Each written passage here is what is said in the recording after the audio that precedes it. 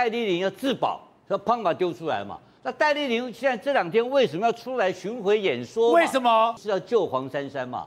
因为他知道这个五百九百一十六万这个事情极有可能是流向了柯文哲的户头嘛，所以才但没有办法没有办法解决这个问题，没有顺水人情变成一个杀头大人大祸，吓死他了嘛。民众党开始去查的时候，全部众口铄金，不众口一致的讲，问题在谁？在端木正，都是会计师。哎，我们这么信任他，我们完全委托给他，完全包给他。结果呢，他完全违背了我们对他的信任。我们也没有想到会计师会搞这种事情。可是问题在这里呀，如果这件事情是怎么开始的？是从戴丽玲的那个九百一十六万开始的。那戴丽玲有没有跟他们做过沟通？有，他有两个窗口，一个窗口叫黄珊珊，一个窗口叫徐富，两个都打了。如果这件事情真的是所谓的戴戴哎端木正搞的鬼，端木正要负最大责任，那你在对话中应该讲，我去问问端木正，我要去查端木正都没有。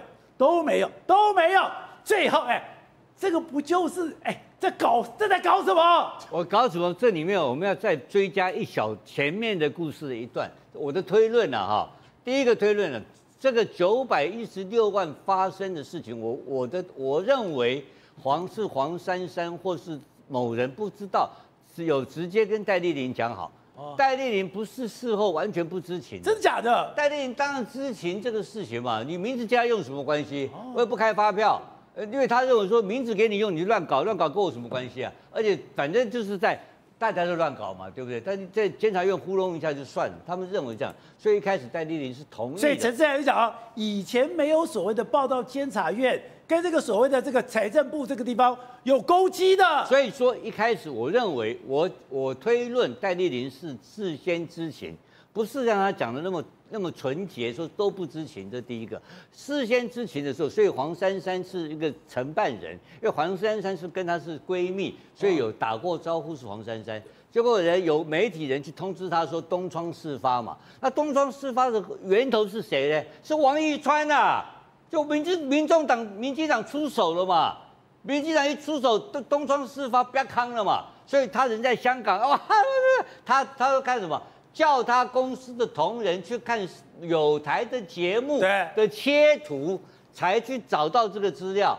这个话你相信吗？不相信吗？当然是拿到，当然这是王一川嘛，王一川不要康嘛。王一川不要看是表示什么？表示民进党磨刀霍霍要砍下去了嘛？所以要砍下去，这个这个事情，请问你怎么处理？确实不好处理。然后他去跟柯文哲报告，黄珊珊怎么报告？哎，民进党现在已经 现在现在会修狗粮，一个一一个敌军已经到门口了，所以他怎么处理都不对。所以他这个时候来讲的话，就大家不知道怎么办的时候，戴立林要自保，要砰把丢出来嘛。那戴丽玲现在这两天为什么要出来巡回演说？为什么？巡回演说的目的就是要救黄珊珊嘛，因为他知道这个五百九百一十六万这个事情极有可能是流向了柯文哲的户头嘛，所以才但没有办法没有办法解决这个问题没有，所以他的他的 A 钱的这个招数有三大招，第一大招就是我们的这个我们的朋友他直接拿现金回家嘛，这是这是一种。然后第二种就是木可公司直接 A 嘛，灌水啊，他开发票搞的。然后第三招就是更怪招了嘛，就直接从建总里面拿回家，建总拿回家，不要扛啊，因为过去靳总拿了没事，因为他也干过两次市长啊，一定也 A 了一点回家嘛。那个时候在蔡壁如搞是小打小闹，搞他个三五百万，这次搞了好几亿了嘛，钱太多才是问题，所以这个九百亿这个。本来是个好事，你想想看，我是戴立林，我也愿意啊。我戴立林做个人情，九百一十六万去帮助我们家柯市长，只是借个名字，跟我也没关系。你们过关就过关嘛，对不对？这顺水人情，顺水人情变成一个杀头大人大祸，吓死他了嘛。所以那问题还是这个原来是个一个完美的计划，所以他现在帮黄珊珊来求情，来来警告柯文哲。我告诉你，这个事情就是你干的。然后第二个，你再啰嗦，我就把你后面的木可先丢一个最小条的七十七万，后面可能丢一个两三千万出来哦。这位戴小姐不是普通人哎，你看一个人从来没有上过电视，你看他这边他刚刚从调查局出来哎，哎，我要是从调查局出来回家，我先吃个什么迪卡米索吧，对不对？他马上就在那边大言垮垮的，你看到没有？就在那边到处串门子啊。这个是武林高手，不是简单人物啊。所以换言之讲，他就告诉你柯文哲，我告诉你，我调查局还放了东西，你呢，你再不不松手，你要你要不松手修理黄珊珊的话，老娘再再咬你一口。一早你看到了柯文哲在接受访问的时候，你就说，哎，不对。他的眼睛怎么肿成这个样子？后来再看到他的陈佩琪，陈佩琪在这个访问的时候也是一样。虽然他在示弱说：“哎，我现在只剩下四十二公斤，我现在骨质疏松症，我根本站不住。你能不能给我一张椅子？”可是你注意到的也是他的眼睛，你看到没有？他的眼睛也是肿的不像话。宝来哥，现在柯文哲跟陈佩琪两人哦，这四个字形容叫做压力山大，整个压力锅快爆炸。为什么我们这样讲？因为现在刚刚你看到画面是今天的柯文哲，但不是啊。以前的柯文哲不是长这样子，以前不是吗？你仔细看，以前他的眼睛炯炯有神，用眼睛就能杀人，眼睛还会透着光。右边是正常柯文哲，左边呢又发现柯文哲哪里不一样？怎么眼皮子肿到已经快要眼睛眯成一条线了？你本来还以为说意外吧，巧合吧，就不是。你看到陈佩琪之后，竟然发现。一模一样哎！以前陈佩琪眼睛是大大的水汪汪，就你看到今天陈佩琪眼睛也肿了，肿成这样，所以代表什么事情？我们合理推敲，会不会是两个人从礼拜一剪掉说要召开检察总长会议之后，就已经非常的难眠，辗转难眠，一路到了今天，所以剪掉昨天的七路搜索，真的对他造成极大压力了。对，而且宝雷哥不只是七路搜索，你要仔细注意看，昨天还发生了什么事情？包括李文忠，包括李文娟，甚至包括端木正。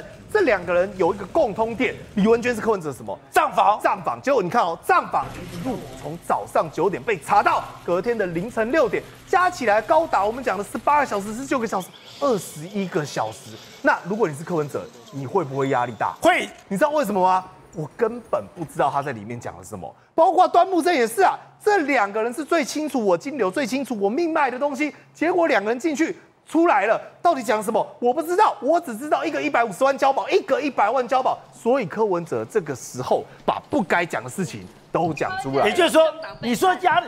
柯文哲其实是经不起这个吓的，这个压力是承受不了的。他每次说什么，人家是怕什么藏什么，他是怕什么拿什么。前两天不是讲吗？大家觉得最担心的就是木可公司。如果木可公司你就偷偷结束就好，他就要大张旗鼓告诉我要结束一夜。当你说你木可公司要结束一夜，刚好给了减掉单位最好的一个搜索冲进去的理由。而今天大家也在问说，哎，那九十六万的这个便当到底怎么回事？他没有回答那九十六万，他回答什么？他回答说，哎，我们这十八万笔真的是太多了啦，人一定会出错。但是两千万也太多了，你说？关键字出来了，两千万。宝大哥，通常正常人我们讲了，遇到不想回答的问题，会转移焦点到一个根本不重要的事情。但柯文哲相反，当你问他一个问题，他回答不了的时候，他会转移到什么？他最害怕的事情。他呢是个好学生，他会把最害怕的事情端到台面上。所以你看哦，当今天问他九十六万，明明是问他便当事情，他说什么？他说：“我跟你讲，误差七万块，我可以接受。我误差到两千多万了，我两千多万了。”太乌龙了，太乌龙，你知道代表什么意思吗？代表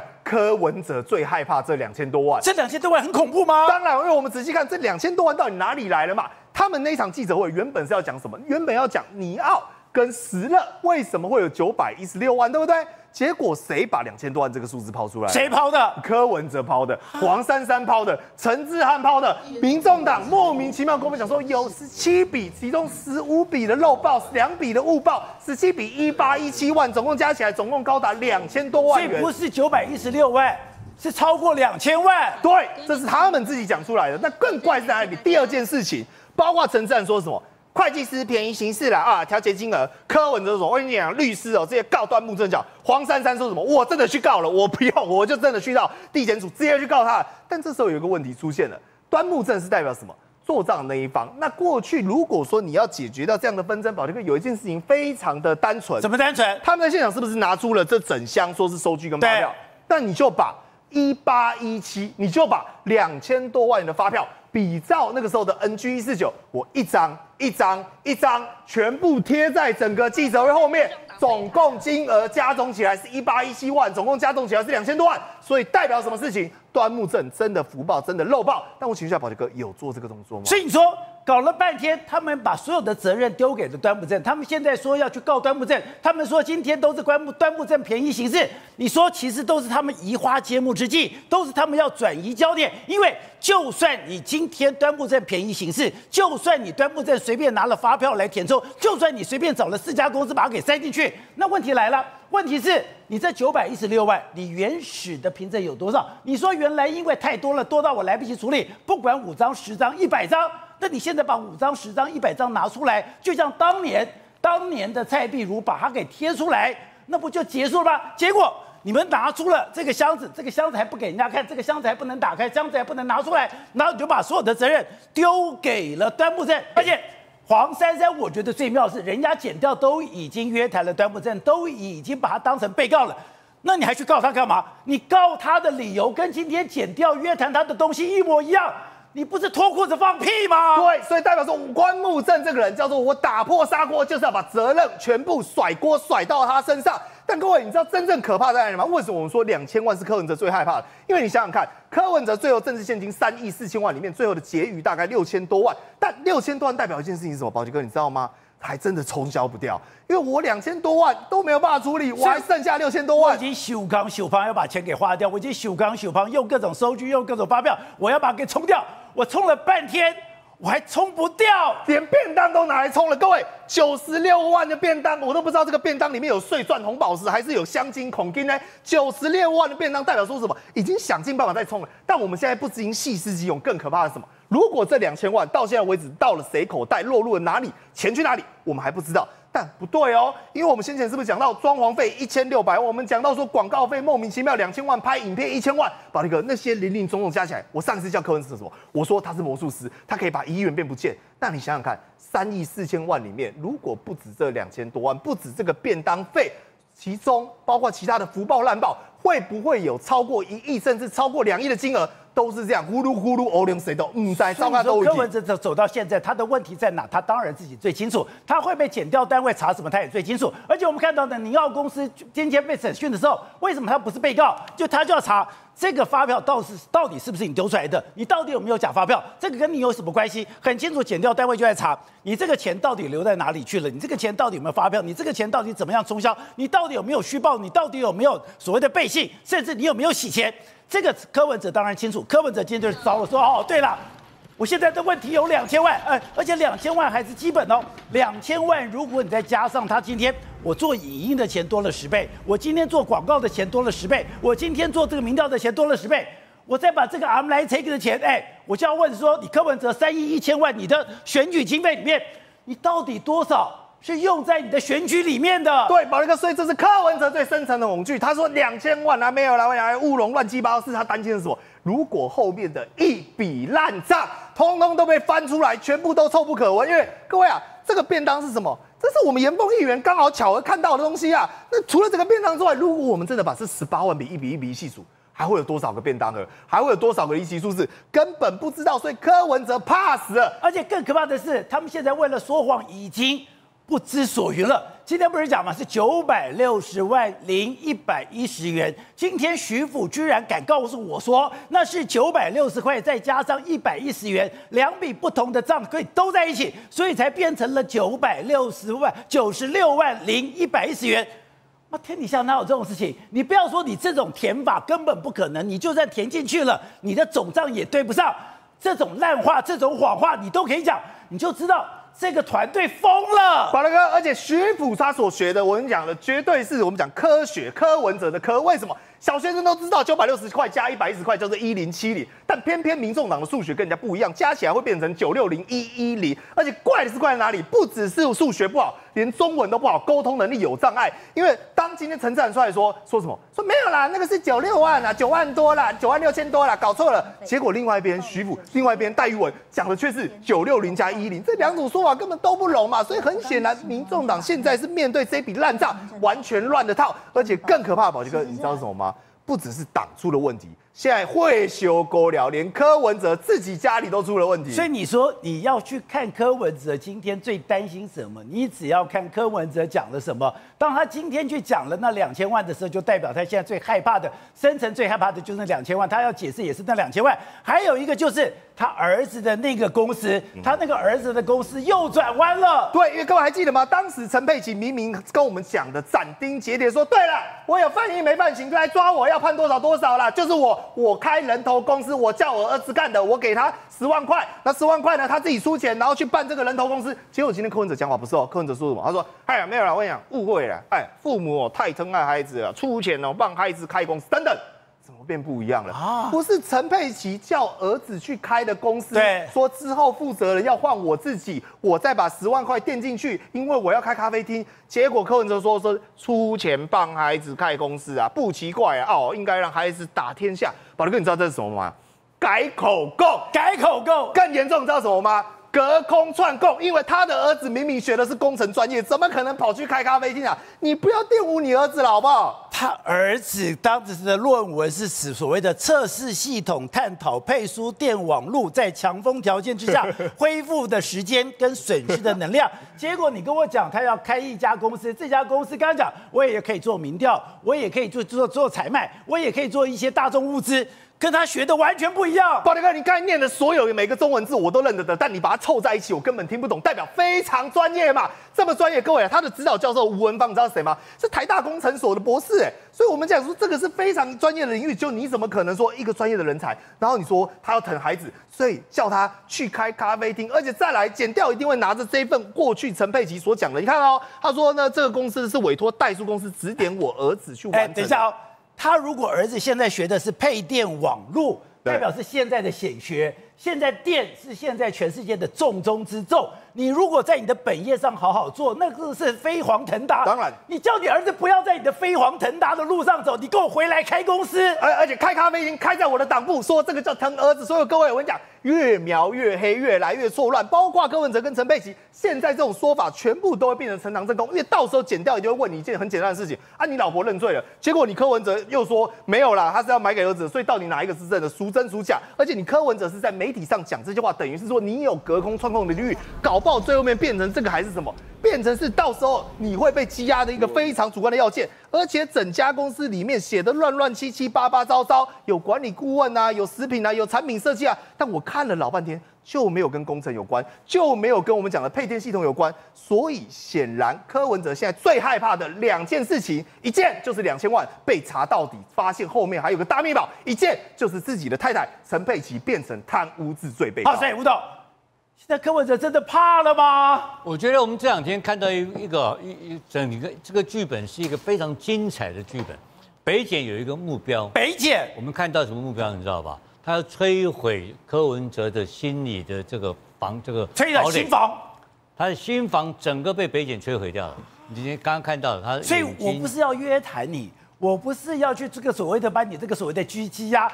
我要彻底的摧毁你，我要把你心房摧毁之后，我让你一点抵抗力都没有。对，因为他最担心的就是万一去收押柯文哲的时候，招是非常大的这个抗力出来，然后搞群众啊，搞政治运动啊，把北检搞得稀里糊涂的，他怕这种事情发生。对，因此。检察长在礼拜天、礼拜六看到你们这边在闹笑话、搞假账的时候，丝毫不留情的，礼拜一就开始行动，就干下去了。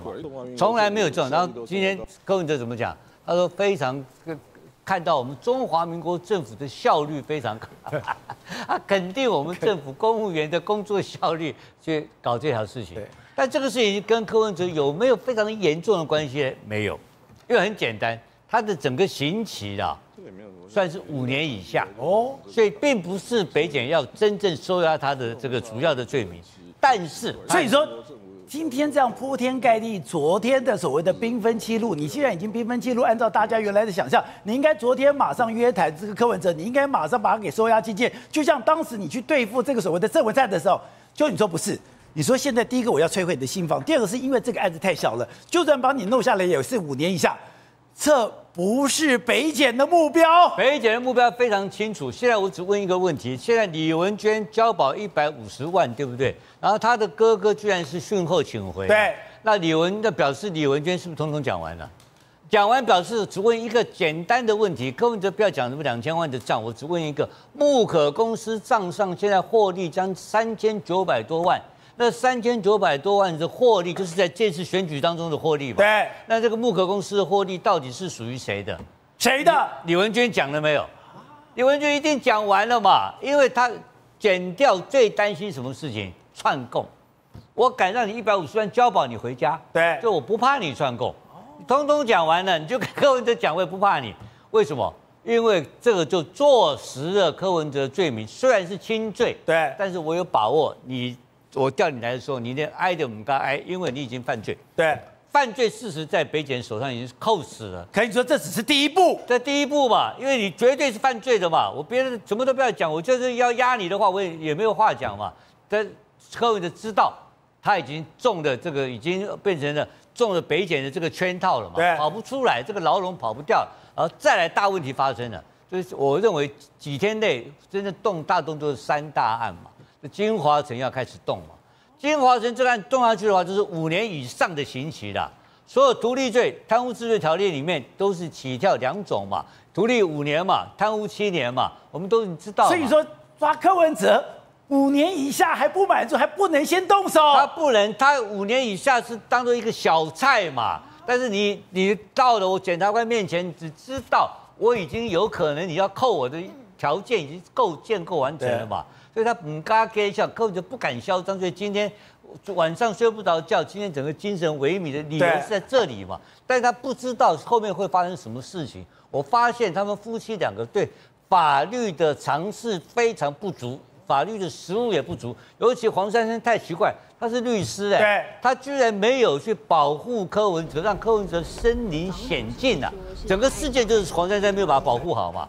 因为这几年，我告诉你一个事情，这几年为什么柯文哲作风跟财团的关系，跟各种的这种厂商关系越来越大胆？为什么其？中就是黄珊珊，这假律师，他认为说你律师看过的案子我不怕，所以黄珊珊给他很大的力量跟信心。结果没有想到，根本黄珊珊是一个能力不足的家的的律师嘛。对好，那现在回来，未来发生什么而且？今天我看到了很多媒体报道的一个内幕，当时要不要去控告端木正，在内部有很大的一个讨论。本来柯文哲想要告吗？需要告吗？而且端木正刚刚讲是跟我一起打天下的，是从创党就开始的，而且按照蔡壁如讲是，他每年都捐钱给民众党，甚至刚刚讲的，我信任你到了富邦当独斗，信任你当我的廉政委员，信任你当我的中央委员，这样的人我要告他吗？今天黄珊珊说告，一定要告，非告不可。结果柯文只能告了，那柯文只能告了以后，你就跟端木正对立了。跟端木正对立之后，端木正只能跟你拼了，拼了以后，柯文哲就挂了。对呀、你看看会计师查过账，他知道哪一笔在哪里，哪一笔会有问题。所以昨天最精彩的在北基站里面，最重要的第一个动作就是端木正他本身他就是那个案的导游，对他就是这个导览，他就直接告诉这个这北基站。这笔、这笔、这笔，用点就点，根本就不要啰嗦。对所以一边在一边在征询端木正，一边在搜索，那两边同步啊。那这个张宇娟说叫做滚动式滚动式剪掉 从来台湾中华民国没有发生过第一次，有那么好的一个内应在配合，是会计师的巨细靡遗，通通知道。端木正现在知道内部账的问题，绝对比柯文哲要更清楚啊跟这就柯文哲讲半天讲不出来，对两千呢，可能超过两千呢，什么乌龙啊，没有贪污。但端木正一定知道，乱讲一通，端木正通通清清楚楚，端木正已经很清楚的站在他们的对立的面，跟他干到底了嘛。因为你要告我，所以所以昨天这是小菜，这个小菜是什么？是配菜。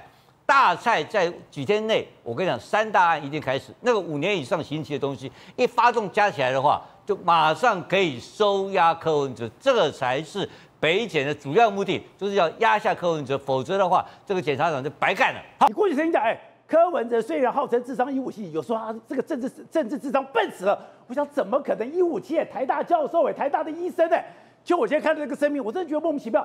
木可公司第一个李文忠也被约了，李文娟也被约了，结果你搞了一个声明，然后说说我一句合法，那我要问啊，啊，你这个声明从哪来的？是谁叫律师发这个声明的？哎，你今天如果木可公司没有一个大老板，没有一个主负责人来叫律师敢发这个函吗？还有刚刚讲的，今天柯文哲在这个所谓的罪己招里面讲，我识人不明，用人不当，就你说的，他知道了，问题大了。我今天听到一个非常有趣的笑话了，就是我们的日本朋友石柏明夫讲的。他说他观察啊，柯文哲的洗钱的手法了哈，是大概是日本大正年间的几人。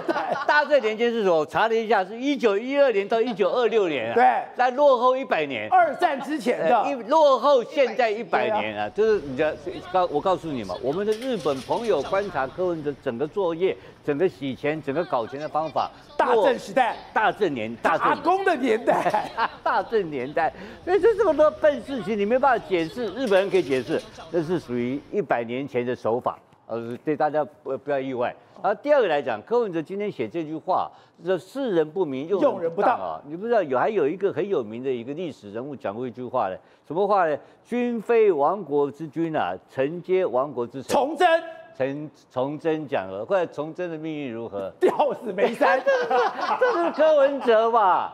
那你这搞，就讲了半天，就是说，干我没关黑嘛？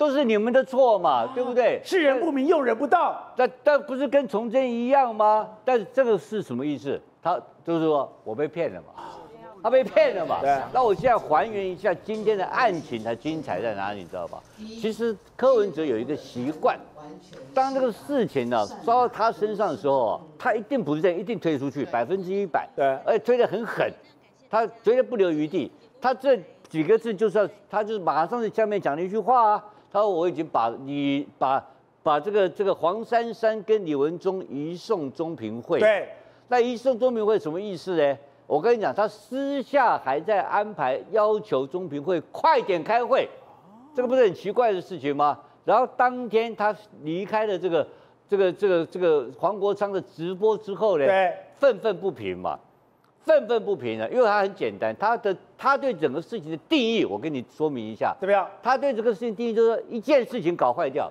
什么事你知道吗？就是戴丽玲嘛，嗯，没有戴丽玲，所有事情都没有发生啊，有没有错？对，没有戴丽玲出来抗议九百一十六万，这个破口不会形成，这不是破口，这是犯罪事实，因为他讲了九百一十六万之后，让北检进来了嘛，对，北检确定伪造文书了嘛，对。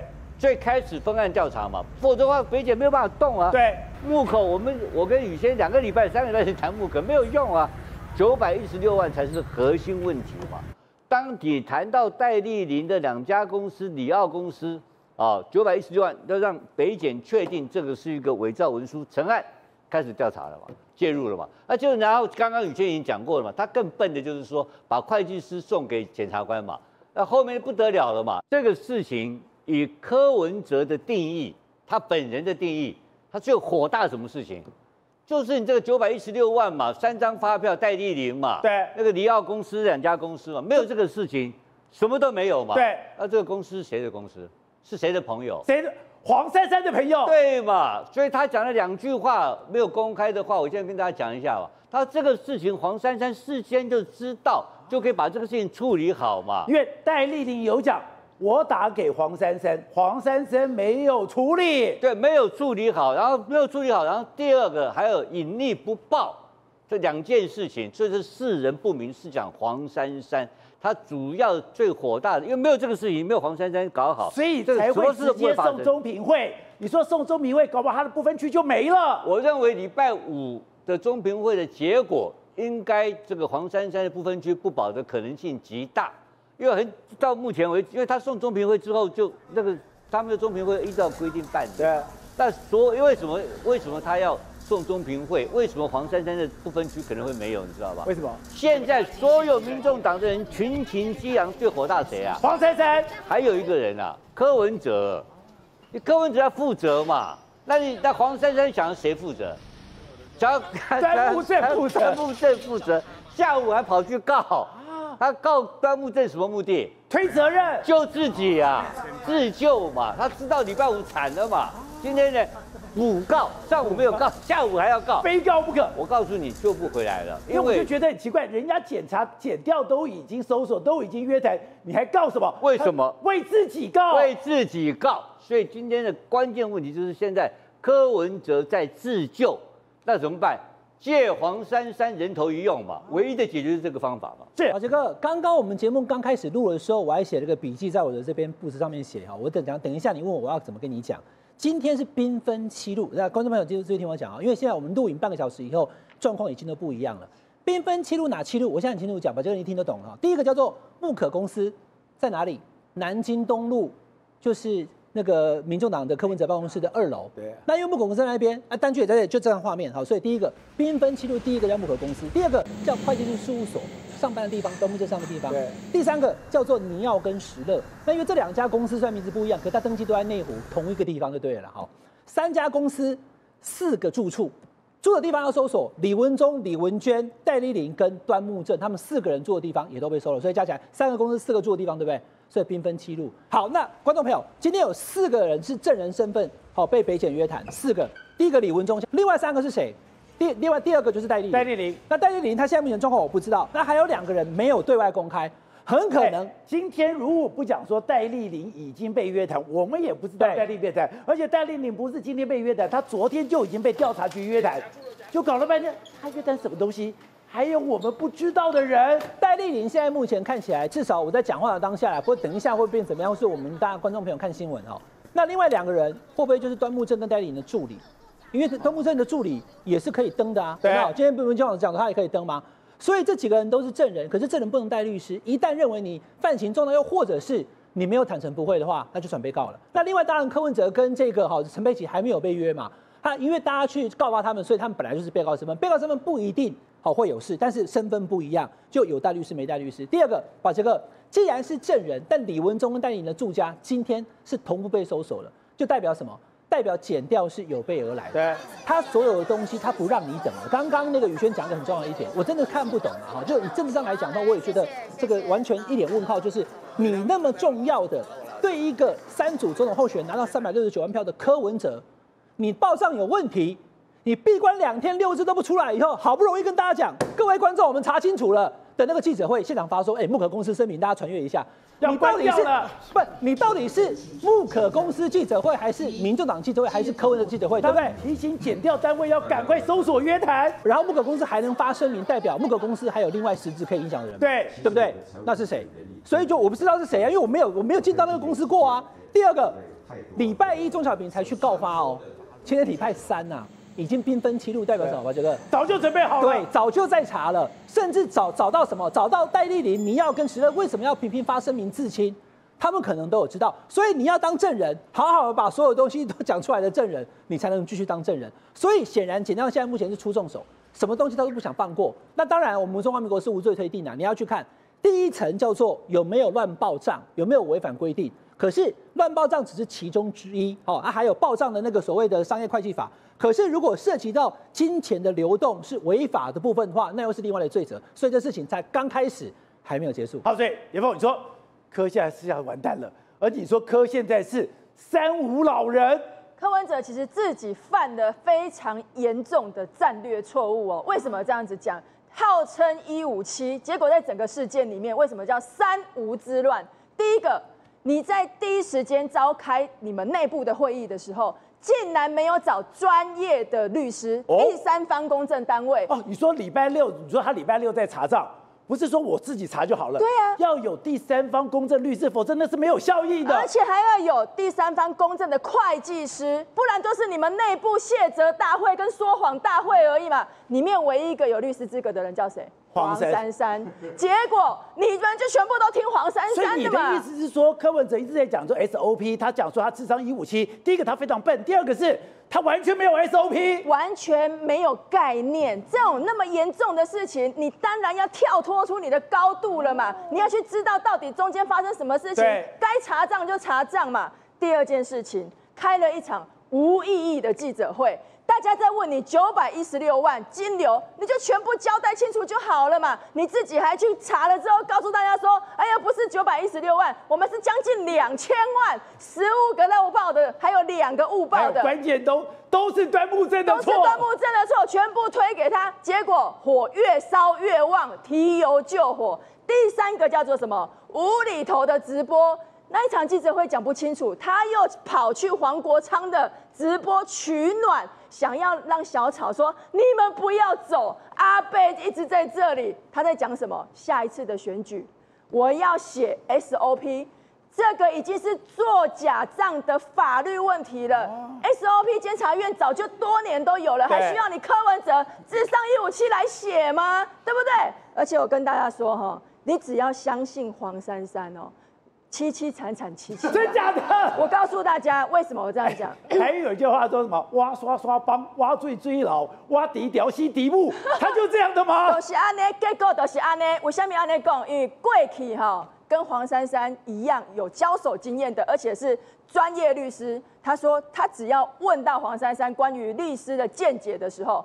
黄珊珊给的答案永远都会让人家眼珠子掉出来，为什么呢？因为他已经是政治人，对，他在思考的时候，他会先以政治操作为主，而不是像律师去帮你厘清问题。所以柯文哲，你一路的相信黄珊珊，那就难怪是这个结果嘛。对，你说今天哎，柯文哲会修狗了了。第一个，彭先生今天以被告被地检署约谈，你说完蛋了。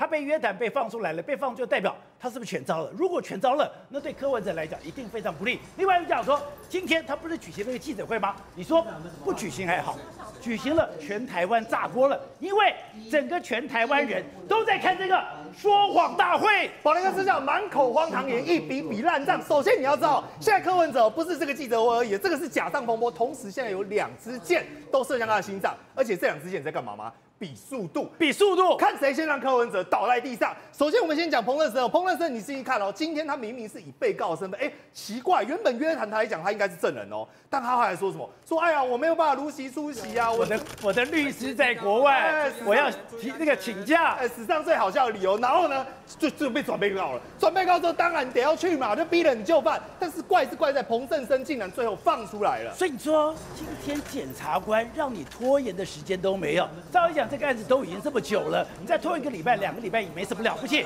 可是你说检察官在比速度，连这个一个礼拜、两个礼拜的时间都不让你拖了，当然没有时间跟你在那边拖拖拉拉，等到八月二十号直接把你彭正生就以被告身份约来。所以你看哦，最后面他有什么？限制住居、限制出境出海，结果就放了。这代表一件事情嘛，彭正生决定什么都招了。你不相信对不对？你看一下彭正生现在的样子，宝亮看看，骨瘦如柴，我瘦成这个样子，这代表他压力山大。你看。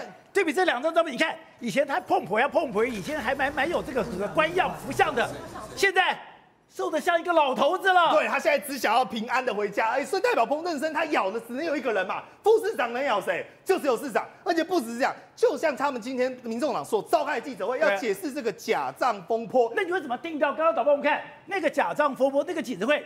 你说根本就是一个推责任跟说谎大会。首先，第一个，他们从头到尾只有一种解释，这个解释就是会计师搞砸了，会计师胡搞瞎搞。就保证你猜怎么着？马上就在我们刚才录音骚扰的时候，会计师直接否认了，因为他们是不是说端木正呢？为了便宜行事，福报烂账？就端木正说什么？关于柯文哲甚至现金申报案呢？我们干嘛？他说我全部都依法令规定处理，而且他说会相信还我清白，所以代表一件事情嘛。两边现在说法都不拢啊！可是黄珊珊不是不讲啊？你知道黄珊珊那把刀是怎么样戳向端木正的吗？他讲会计师第一个错误就是漏报，累积到后面的结算，结果结算的时候有短差，短差所以要说明端木正竟然没有做完声明，也没有跟竞选总部讨论，结果自行做了调整。他说虚报。是会计师虚报的，宝德哥，我坦白说，如果这个会计师真的虚报的话，那他也是一个非常认真的会计师。你知道为什么吗？会计师唯一要做的一个工作叫做签证。签证你知道什么吗？你拿来收据，你拿来交款单，你拿来金流，我把相关的文件做一个统一的整理，他都会留一个会计师底稿，而且是每个礼拜每个礼拜要做。那我请问一下，今天黄珊珊把所有责任都推给他，那我请问一下，你所以你提款也是会计师帮你领钱的吗？你汇款也是会计师帮你汇的吗？然后做账是他你这个会计做账的，你签名登记是会计师登记的，你签名是会计师拿来枪压你，去逼你，逼你签名的吗？都不是嘛，所以黄山这个叫做胡扯。而且对哦，哎，今天这个签名刚刚讲的不是会计师自己签名就算了，今天李文忠要签名，黄珊珊要签名，柯文哲要签名，就你们签名你们都不算，哎，对不起，我们都。我们都不知道，我们都给会计师骗了。对，我跟我跟你讲，这个签名多复杂。第一个，你首先要有财务办，财务办是谁？就是李文忠的妹妹，叫李文娟。那财务办呢，他有人提出计划，然后拉求请款单之后呢，他要干嘛？他要经过张雅玲，也是社会力主任同意。他要经过谁同意？周宇修同意。周宇修同意之后，最后他送给谁看？竞选总干事黄珊珊看。黄珊珊他还要再跟柯文哲确认之后，他才可以去签这个名。否则你怎么可能花柯文哲一千万？他不跟你计较，他这么爱钱的人。对，对了，所以你看这个情况之下，你怎么可能说你们这些人都？傻傻的被会计师骗了，然后签了一大堆东西提供给会计师，或者是说会计师真的凭空去生捏造你们的签名，捏造这些凭证，哪有这个可能？少来这一套嘛！而且他今天讲说，我们是很负责任的，我们每个礼拜都在做账，我们每个礼拜都按照什么？他特别讲，按照监察院提供的表格，我们都已经做好账。啊，你每个礼拜都已经做账了，每个礼拜都已经弄好了，每个礼拜弄好了以后交给会计师，就你现在告诉我说会计师来不及，哎，今天连陈志涵，陈志涵居然竟然敢用三个竟然，哎，好像这个会计师是非常糟糕，这个会计师非常恶劣，这个会计师非常胆大包天。他说端木正的回应是因为时间来不及了，才有很多漏报的状况，所以呢，便于行事，擅自调节，所有的支出都有明显明细有收据，但是会计师没有报给监察院，而且厂商竞选总部。都不知道，宝林哥，所以我让欣然陈志海用三个进来，我就送他三个华兰，对吧？举国哗然嘛，我就问第一件事情哦，你说你每个礼拜都有做账，每个礼拜都有记录，那请问记录在哪里？那今天应该公布出来啊，代表说我几月几号的时候我曾经申报过这些票，也没有嘛，对不对？因为你要甩过给会计师，你还给我看。再第二件事情，他说，哎呀，我们总共呢，会计师漏报了，加虚报了，误报了一百八一千八百一十七万元台币。好，那我跟你讲，你讲这个你就完蛋了，你知道为什么吗？我们到目前为止，宝杰哥，请问一下，查到的金额大概多少？九一六，九一六，所以你中间还有九百零一万。哦，所以是九百零万我们还没刷到，然后会计师也福报吗？再来你说，哎呀，应该是因为他压到压线压到最后面，然后呢，所以他自己才乱报一通。怎么可能？我就问一件事情啊，你如果每个礼拜提供给会计师，那会计师他我们讲做账的习惯都是每个礼拜做，每个礼拜做，他怎么可能给你积两个月，然后最后再一次做？那请问一下，这些收据、这些凭证到底在哪里？因为今天看起来，而且台湾民众党还弄了一个图，弄了一个梗图，说我们是委托会计师，会计师说时间来不及，结果漏报，漏报的金额大概两千多万，分九笔申报。他说会计师没有跟计学总部讲，自行把短差的金额申报给石乐尼奥木可肯公司。可是不对啊！如果你今天是会计师，绝对有问题，会计师退回去就好了，叫你计学总不做账就好了。哪有说，哎，今天会计师绝对有问题，会计师还要想办法。帮你找科目把钱给推进去的，宝哥，我还形容这个场景什么？这个场景就是呢，这个会计师非常的不认真，提供给他呢一堆证明呢，然后呢他竟然都不愿意签，然后最后面呢这个会计师呢才自己非常认真的做什么事情？他开始呢伪造了缴款单，伪造了提款单，伪造了收据，伪造了发票，然后伪造了所有记录，还要一笔一笔把这些金流算起来兜起来。你各位，你觉得有这个可能吗？当然没这么可能嘛。再来，你看哦他说我们这个支出呢都有凭证，最重要。而且人家讲的，民长，你不要再骂了。他们讲说，我每个每个凭证都没有跑到个人的口袋里面，而且黄山这也讲啊，中间没有人伪造任何发票及支出证明，每一笔钱，他特别讲，每一笔钱都用在选务上面，没有洗钱，没有欧龙谁动，你们不要再诬赖我们了。好好好好好，宝杰哥，那我就问几句简单话就好了，请问一下，那九百一十六万最后去到了哪里？到现在还是没答案啊。哎。我今天好奇的是，你要公司说我没有这三笔钱，这三笔钱是九百一十六万，我没有，我没有，你们没有钱给我，可是你报在里面，而我要问的就是那九百一十六万。那你就跟我讲九百一十六万。对，如果你真的是说他有所谓的福报，真的有所谓的虚报，你总有预钱可以兜出九百一十六万吧？那你就把那个兜出的九百一十六万给我就好了。那你后面拿那么多的箱子，你后面拿那么多资料，我不重要，我不想知道。我想知道的是那九百一十六万是怎么来的？哎，对，宝林哥，结果他没有兜出九百一十六万，他兜出了一千八百一十七万。我都不知道这群人到底脑子里装的是什么，真的很奇怪。而且各位，你仔细看哦，他提供的这十七比较什么误报跟漏报。九就是所谓的凑起来是一千八百一十七万，对不对？但他最后面的文末，刚刚我们看到那个数是什么？又变成两千万了。然后这个数字跟我们讲的九百一十六万还是都不拢啊。所以你的意思是跟我讲说什么？我跟你讲啊，你这个都不要胡说八道，因为你如果减掉这个查下去，宝哥，你知道他会查什么吗？会查什么？他会查金流。但查金流之后，因为我跟你讲，数字都不一样。比如说这九百一十六万，有些是五百万，对不对？有些是两百多万，对不对？所以他看的提领记录一定说你是不是从户头里面拨出来五百万、两百多万，而不是说。如果是按照他讲的，他应该是几十万、几十万。而且你知道吗？我今天看到了陈志涵把这个东西拿出来以后，我觉得你是在侮辱我的智商，你在侮辱我的智慧，你根本把我在电视前面的人当。你今天弄了很多的发票，说，哎，我跟你要本来就有合约，我本来就有互动，我本来就有发票。废话，你本来就跟他有合约，我知道啊。假设说你今天跟他合作有一千万，可是你家报了一千五百一千五百万，你多了五百万，人家你要说没有，我没有收这五百万，我好奇就是那五百万。你把那前面的一千万里面的合约，我当然知道有啊。你把一千万里面巨细迷说，我有，我有这笔账，我有这笔账，我有这笔账，这都跟你要有关，我当然知道。宝林哥，我跟你讲，你搞错一件事情了，我要帮你更正。你刚才说这些一堆发票，对不对？我都一个一个仔细看过，根本不是发票，一堆请款单。所以那个东西是他们爱怎么写就怎么写，连发票都不算，根本不是发票。他把我当更笨了。对你如果真的有证据，你应该拿发票说，我就看了老半天，想说怎么给我们一堆请款单。对，那你仔细看哦，黄珊珊这个说法更好笑。黄珊珊，你要讲了老半天，等下第四点他说什么？他说，哎呀，虽然我们委托他呢，啊，那这个会计师在清洁的时候呢，应该要呢如实的去稽核。他说，结果会计师啊，竟然做了很坏的事情，他干什么？就是我们给他发票，我们给他凭证，我们给他收据，结果呢他都不处理，然后最后呢自己虚报自己辐射，而且他讲第二件事情，他说而且我们的财务呢确实是有参与在其中啊，只是我们财务呢财务呢也没有这个认真工作，所以大家呢也代乎之受，没有善尽责任，所以我们才会重大这些不是，而且我觉得最好笑是他的第九点，第九点我是觉得让我有点毛骨悚然的。为什么第九点我觉得毛骨悚然？导播看，你要公司负责人戴女士是我的朋友，可是戴女士已经透过记者已经接受访问说。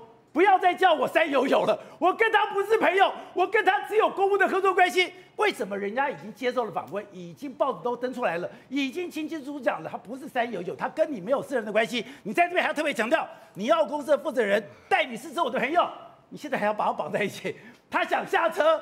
你不让他下车？对，宝哥，我们讲这整个洗事件到底为什么会爆发？因为很简单，尼奥跟石勒其实他们爆发这件事情说发票理由就是从木可公司开始嘛。那时候是不是木可被大家查出说，哎呀有这个假账的问题，甚至是呢有可能虚报的问题？那你想想看，如果今天木可会出事情的话，接下来会查到谁？尼奥，尼奥跟石勒也会查，所以这个叫什么自保？他们当然是为了自保，跳船说没有哦，这笔金额根本就没有哦。但你要公司的负责人戴女士是我的朋友。对，那黄山丽说你别想了，你跟我在同一条船上，休想西斗又博西平东，啊，博进来打击了，就把他一起拖下水嘛。所以你仔细看看这件事情，如果继续延烧下去，我再细最后细数给各位听，包括我们讲的诈欺罪也有可能违反，背信罪也有可能违反，伪造文书也有可能违反，甚至为了什么三块法也有可能违反，税捐稽征法也违反。所以你想想看，这一二三四五条，我都还没有讲政治现金，也没有讲政打法。请问一下，你觉得柯文哲你跑得掉吗？好，吴导刚刚讲的这个竞选总部的总财务长是谁？是李文忠。那我们也了解这中间谁谁在管账的，谁在登录的，都是他妹妹李文娟。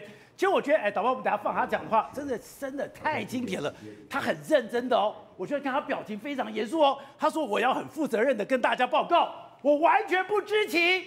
一份的凭证都是由我亲自签合，很可惜。出现了这些短差跟漏报，啊，那我现在在这里非常负责任的跟大家报告，我完全不知情。我很认真的跟大家报告，我完全不知情。吴总，你看，他是非常认真的讲，我要这个严肃告诉大家，我不知道。李文忠，我认识他。他来看，他有一次来看我，我就问他一个很简单的问题：我说你是不是代表柯文哲？他说不是，不是。这个这个人啊，胆小如鼠，扛不住事情。胆小如鼠。我跟你讲，他一收押哈，我跟你保证，就有一个关键问题：木可公司的负责人是谁？他他他妹妹李文娟。那这账上还有四千万，对不对？对。那四千万是不是不法所得？可能不法所得嘛，对不对？他们现在四千万，如果李文忠被收押的话，他会说四千万要给谁的？我给你保证，他咬科比，保给你百分之一百，那是科比叫我干的，因为他跟科比直接关系啊，李文娟也跟科比直接关系啊，所以这个木可公司这件事情不要扯任何人，就是这个天才，所以说非常负责任的告诉大家，我完全不知情，是我妹妹干的，所以他后面还有戏呀。李文忠的戏还长得很，是他在他完全就是柯文哲的死党嘛，柯文哲的财务就是他搞的嘛，因为他们关系我非常我非常了解，对，因此的第二个问题我问你很简单，最后一个要送监察院的报告之前，李文忠要不要签字？要签字。柯比要不要签字？要签字，都要签字啊。黄珊珊也要签字。哦，那不黄珊珊签，那怎么可以推给这个？怎么可以推到会计师？会计师推不出去啊。为什么这么？为什么要推？而且推得多凶，你知道吧？要告他，要告会计师啊！有必要告会计师吗？对。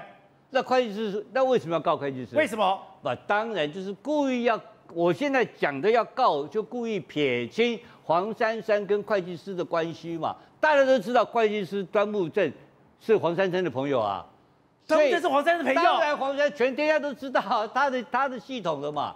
所以这里面的故事很多。那今天他等于说，我说我的账，今天你明明知道你说这些话不会相信。都干嘛？他们还敢开这种记者会呢？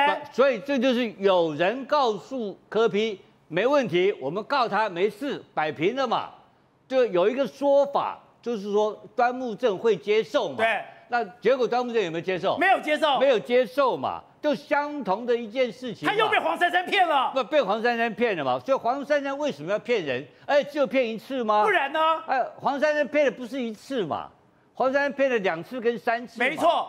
骗的是为什么？那个六点协议也是黄珊珊说你选你会赢的。哎，我跟你讲，这整个故事里面就是一开始大家怀疑内爆嘛，跳船潮嘛，跳船潮，大家都说跳船了嘛。现在只有一个傻瓜最后扛到底啊！这个傻瓜是谁？你知道吗？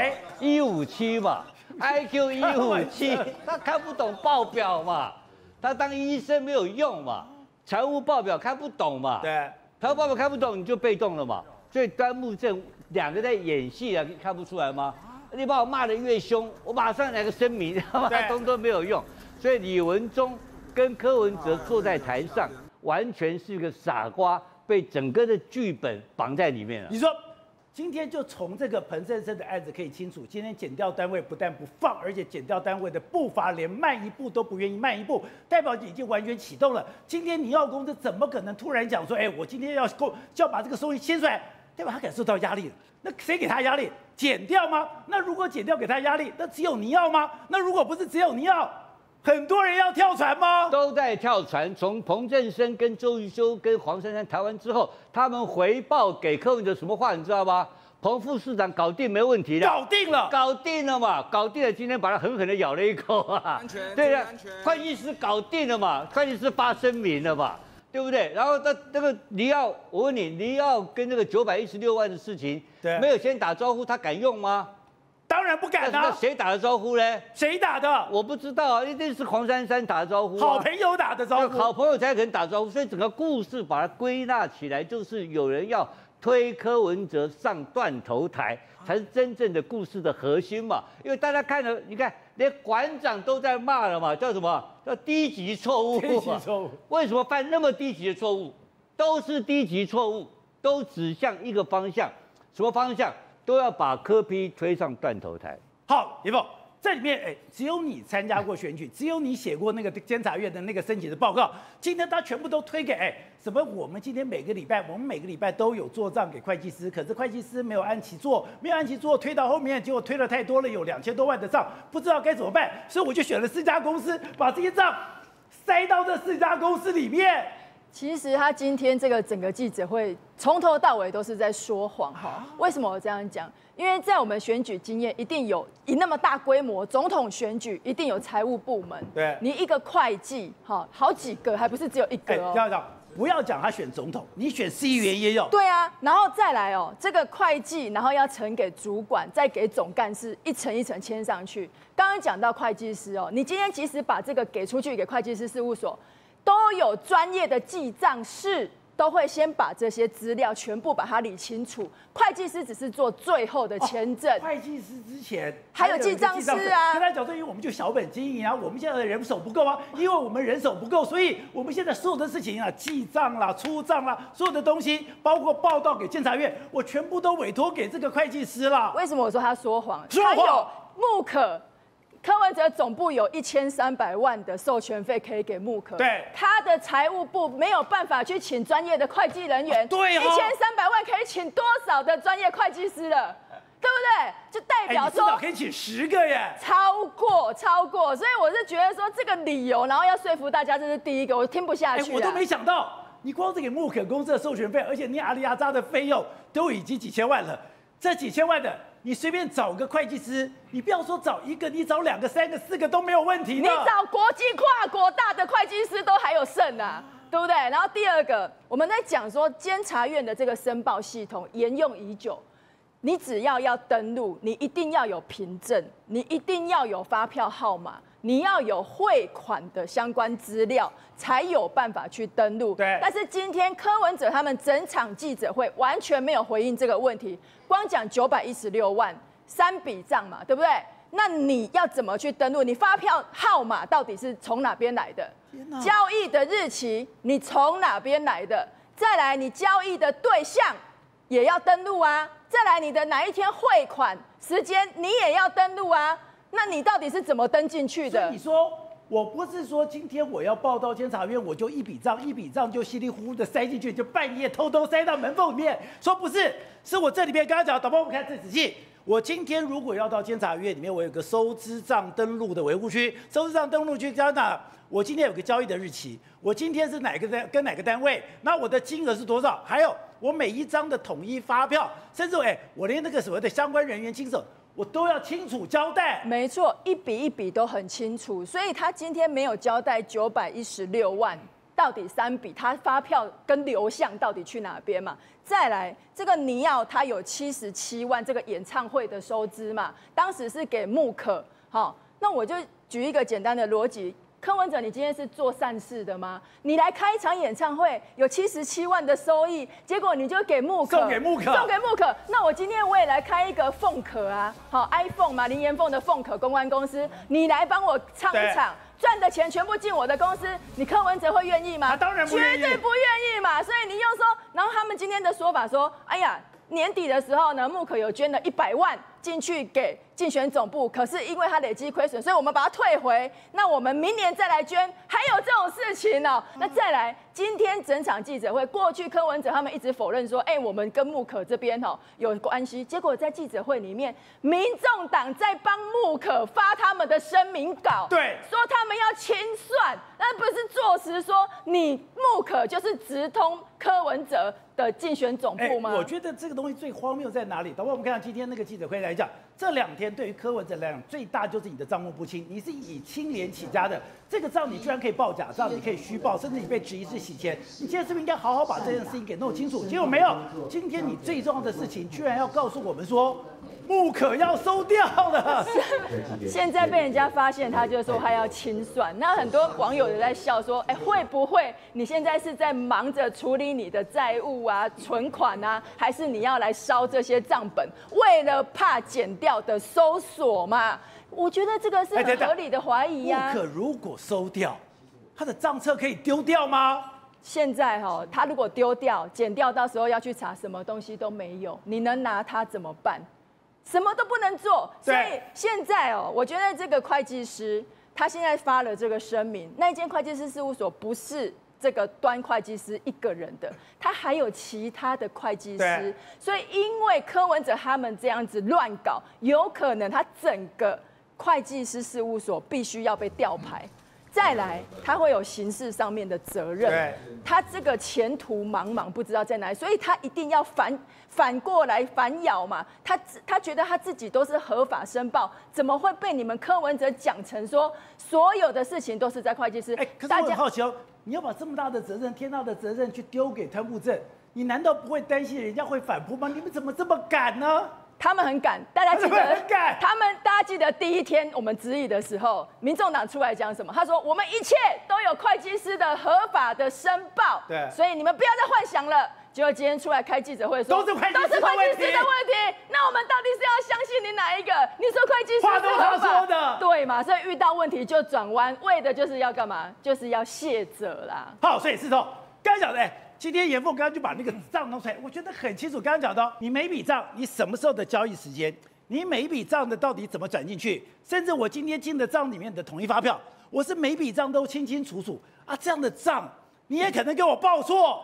而且我跟他讲啊，事实上全台湾呢最保守或者最这个不会出错的，其实就是会计师。所以你现在把责任推给会计师，我跟你讲，会计师通通常啊，他会保有非常多的证据。所以我跟你讲，你惹上会计师，你绝对是死路一条。他怎么敢去丢给会计师？因为他们为什么摸包？他们现在只能够这样子做。我就跟他讲，实际上目前为止，我跟你讲，全台湾来说，过去一段时间来说，因为我们也算在财经界很久了，通常都是啊，公司骗会计师，很少是会计师去骗公司，很少几乎没有这样，所以通常都是公司你要做假账，做假账然后呢，哎，会计师抓到，所以这个这个很显的，我跟大家讲，这很显的就是你可能呢，你要会计师吞，而且我跟大家讲。你不要以为这个会计师工作签这个证，他有很多钱，没有。事实上，这种呢小 case，他其实可能只有几十万就把它做掉，但是他现在却要担可能整个公司没有的这个责任，他可能也有相关的这个这个相关的刑事责任或者相关的责任，他当然不愿意担。所以现在我跟他讲，这个好戏才刚上演，因为他一定会有非常多的这个证据可以证明你的，而且我跟他讲，什么叫做时间来不及而漏报？各位，你知道？这样会计师认证，他所里面的才有几几笔而已。你知道几笔需要多久时间吗？多久？他可能只要一个小时、两个小时就可以结束。为什么？根本哎，宝杰，你你不要以这个账其实没有那么的复杂，那只有几笔这样子的为什么要为了这样的事情，然后要做更多的事情？我跟他讲。如果你真的来不及来说的话，很多时候你可以这个延迟申报哦，或者是说你后来你可以先申报出去之后，你还可以再补申报，这都可以啊。所以他现在是等于说一一推二五六全部推给会计师。所以来说这个可能接下来，我觉得会计师有非常多的这个东西，已经有非常多的证明，最后可以反击柯文哲。好，董事长，我们这里面你最了解柯文哲，你也最了解民主党，最了解这些人，怎么如此胆大妄为啊？哎。我今天觉得说，本来以我小小的脑袋去猜测，你今天敢去丢给会计师，你应该跟会计师讲好的吧？会计师应该默认的吧？我甚至小脑袋都还想说，会计师搞不好都要 把浪告了，跑掉了。哎，结果我刚刚讲到，你今天全部推给人家，说你短报，说你没有做好你应有的责任，说你延迟了，然后呢，你再把这些延迟的两千多万，随便找了四家公司给塞进去。他们怎么这么敢呢？这个是他单方面的话术嘛？到底实际上是什么？你不知道。对。如果一个正常的查账的话，你会怎么查账？我第一个动作找会计师帮我查。对。怎么会去告会计师？对。骂会计师？然后呢？那这个账谁查的？可是你不担心会人家会计师？不，我觉得这个怎么执行的嘛？这个没有办法执行嘛？所以这个整件事情就是你开始开场一个定义非常好，就是胡说八道。哎，那这被那个胡说八道，所以这整个事情是有一个局啦。那这个局里面有一个人叫做无知的力量，那个人叫柯文哲，一五七，勇敢的不得了，他通通不懂，他不懂，他不懂财务啊，报表不懂啊，就很好骗啊。呃，他也在大而化之啊，那钱他也不管，他认为李文忠在管就可以了。对，那李文忠管钱这件事情。可能就惹下了杀机嘛，对，所以我认为这里面有一个很有趣的发展，这个发展就带来第第二个问题，就是说，哎，彭正生现在今天去了北检了，对不对？对。结果他两袖清风，他是舒舒服服的走出来，无保释回请回，哎，那但是他是被告，对不对？那我请问你，你认为什么时间开始要传科批了？快了吧？当然快了吧！所以我再重复一遍嘛，最晚最晚最晚，立法院开议前一定是干他嘛。哎，怎么干他？我现在告诉你规格好不好？就是七点钟拂晓攻击吧。他上次在等那六个寿桃嘛。对。我现在告诉你，下次是等六十个纸箱来了嘛。